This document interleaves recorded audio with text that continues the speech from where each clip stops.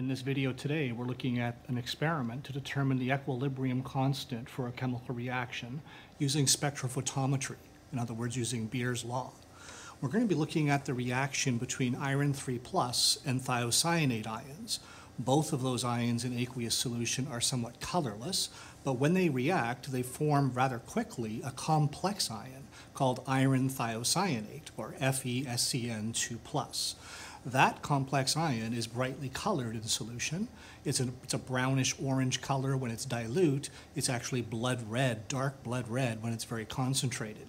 We're going to be using dilute solutions today, so we're going to see a light brownish orange color in them. So there's three parts to this experiment. In the first part, we're going to just look at the absorption spectrum of the complex ion to determine which wavelength it absorbs best. Once we know lambda max, the wavelength of maximum absorption, we can move on to part B.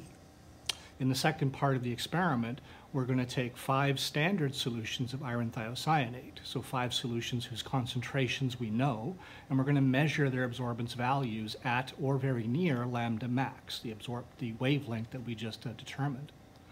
From, those, from the data we get for that part of the experiment, we'll make a Beer's law plot and that will be a graph of absorbance values versus concentrations.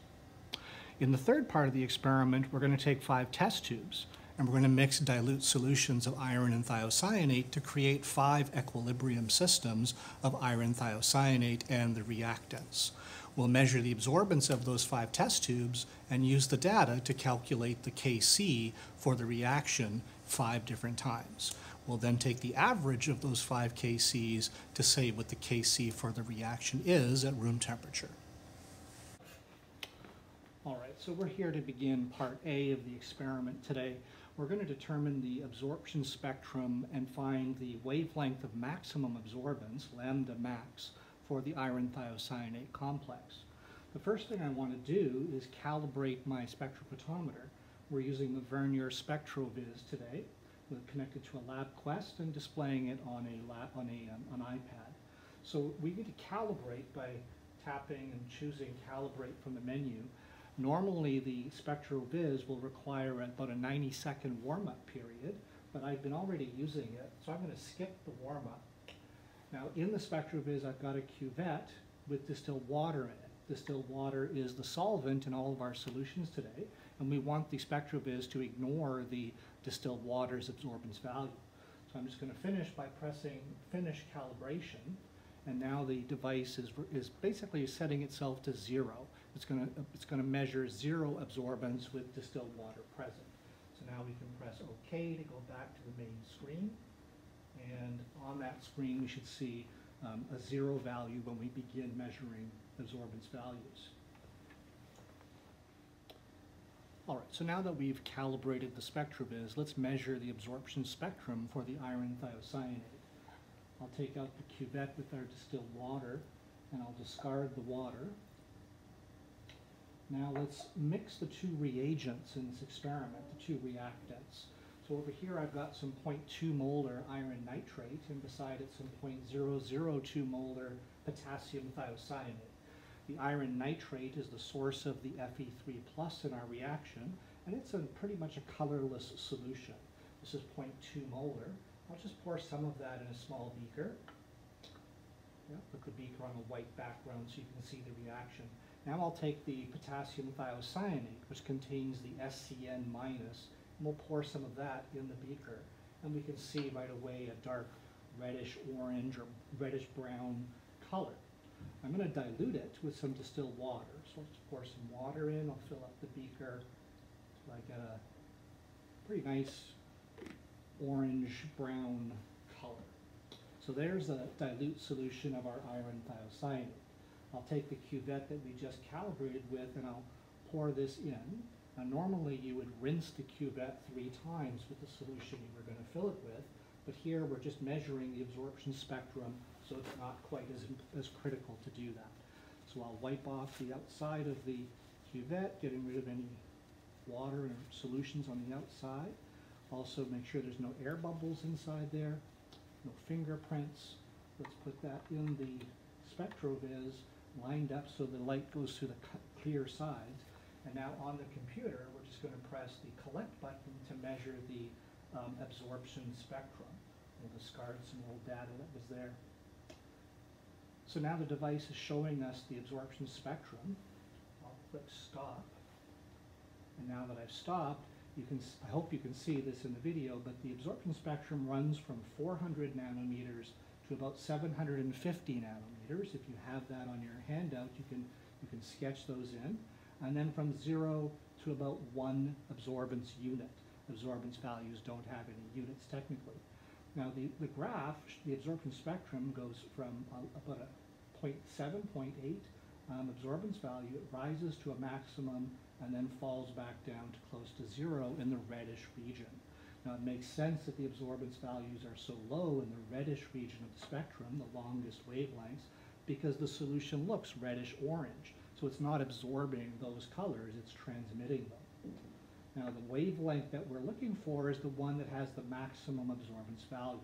So the computer is telling me that that's about 450 nanometers, 450 nanometers. You're going to want to mark that on your sketch of the spectrum.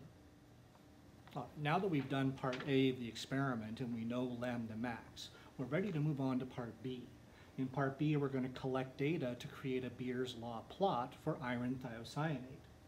We have five volumetric flasks that we're going to prepare. In each of the five flasks, we've placed five milliliters of the iron nitrate solution that we used earlier, the 0.200 molar solution of iron. Note that that's a pretty concentrated iron solution. To the five flasks, we're going to add varying amounts of the 0.002 molar potassium thiocyanate that we talked about earlier. So in the first flask, we're putting one milliliter. In the second, we're putting two milliliters, all the way down to the fifth flask, which will have five milliliters. These are 50 milliliter volumetric flasks, so we're going to fill them up with distilled water, so the total volume in each flask will be 50.0 milliliters. Now the first four flasks have already been prepared. They've got the five milliliters of iron in each one, and they've got one, two, three, and four milliliters of the thiocyanate. You can see the concentration is getting larger as we used more and more potassium thiocyanate. The um, amount of iron thiocyanate produced is, be, is increasing. We're going to prepare the fifth flask right now, which needs five mils of iron and five mils of the potassium thiocyanate.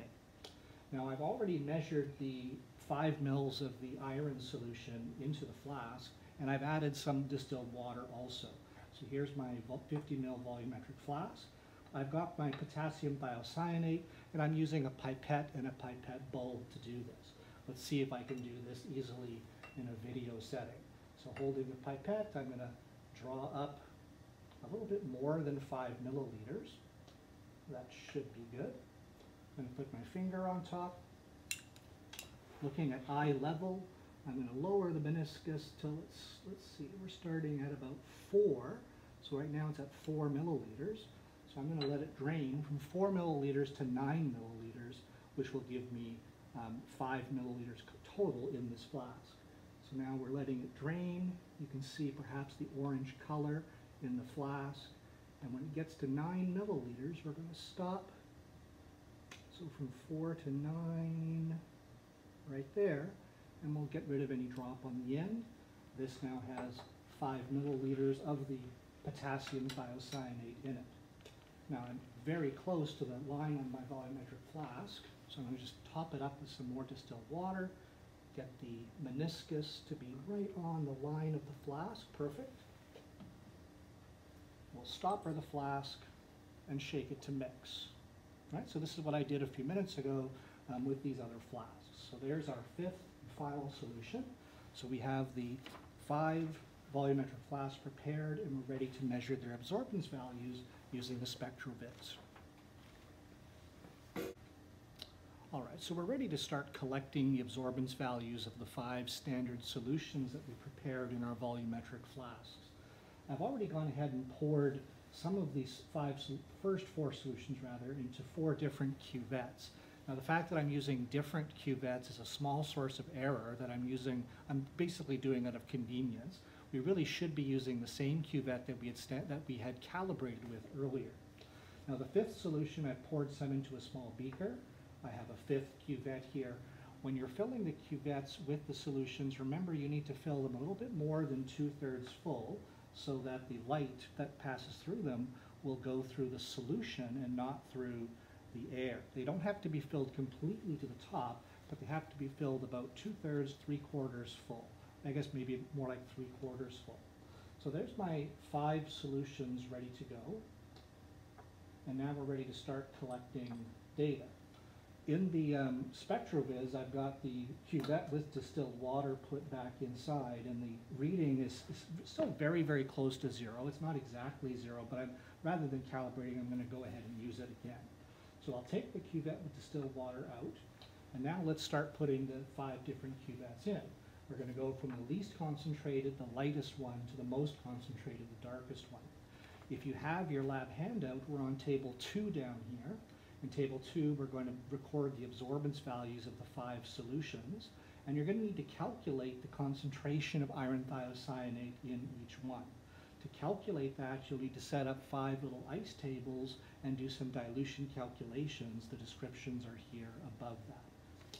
So let's go ahead and record the five absorbance values.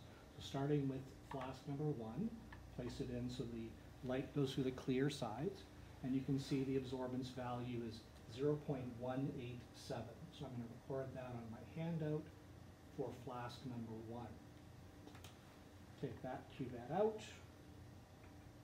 These have already been cleaned and dried, and there's no air bubbles. So put the second one in. It's a more concentrated solution, so it had better have a bit of a higher absorbance value.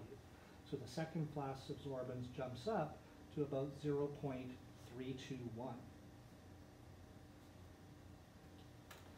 Take out the second solution, put in the third one,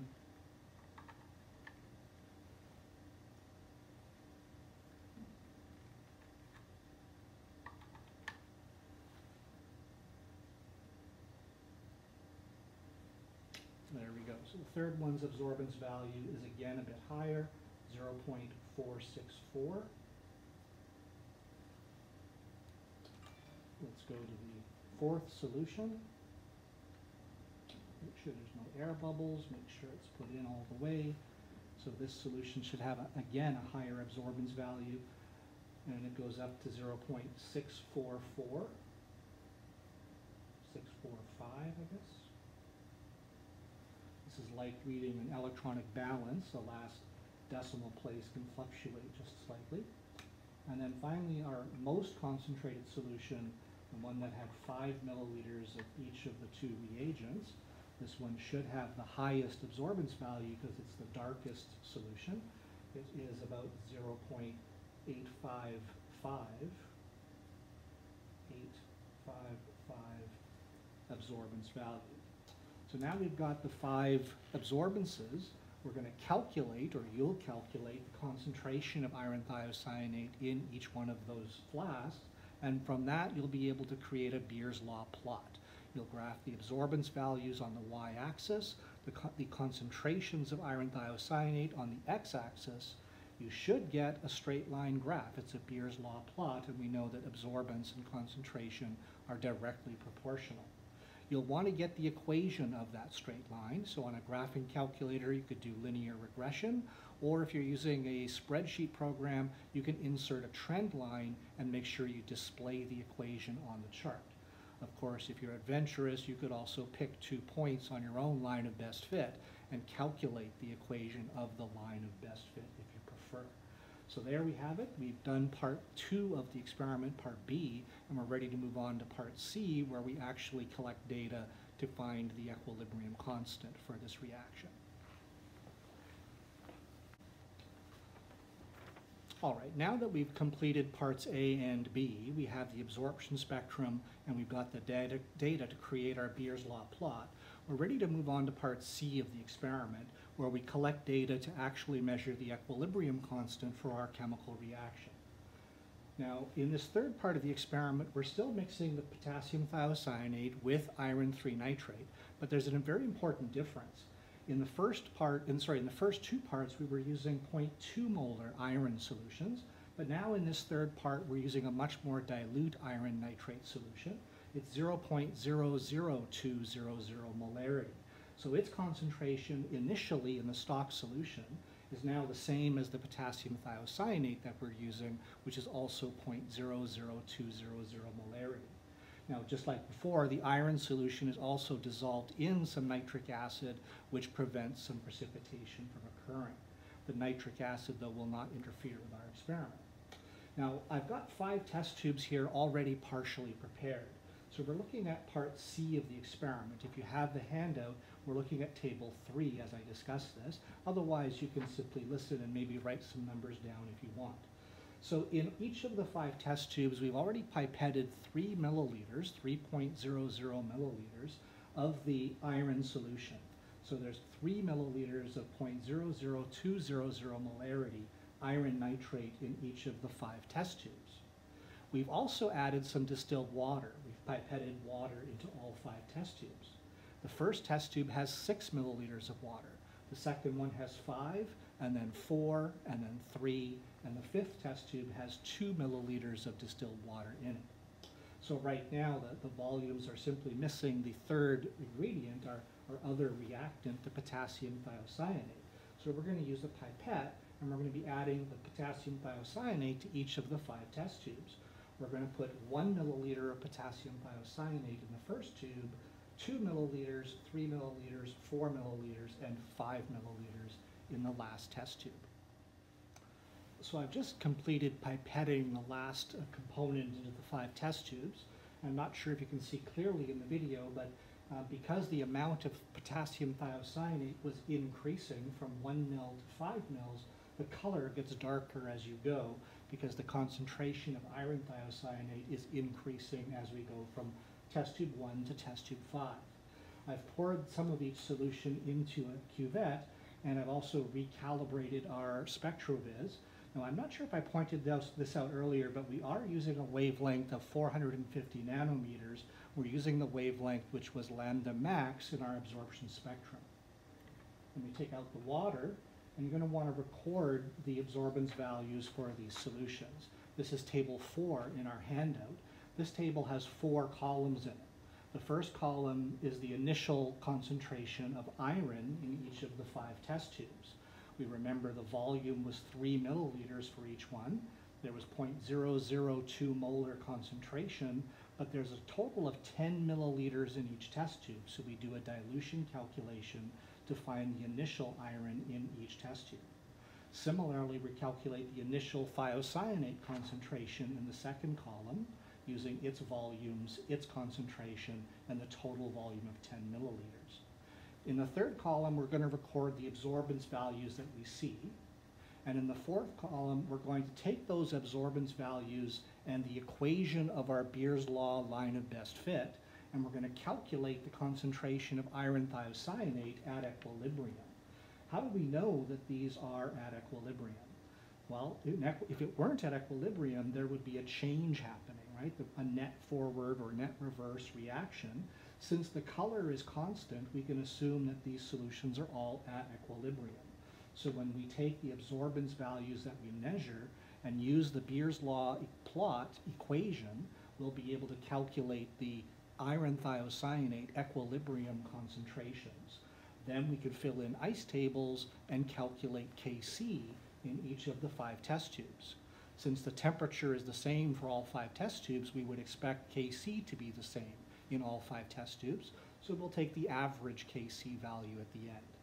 So let's go ahead and measure absorbance values and record those things. So the first, the, the least concentrated, has an absorbance value of 0.124. So first test tube, the absorbance of the iron thiocyanate is 0.124. In the second test tube, a little bit more concentrated iron thiocyanate. You should see a slightly higher um, absorbance value. There we go, 0.213 is the absorbance in the second test tube. In the third test tube, again a little bit more concentrated, the absorbance value jumps up to 0.332.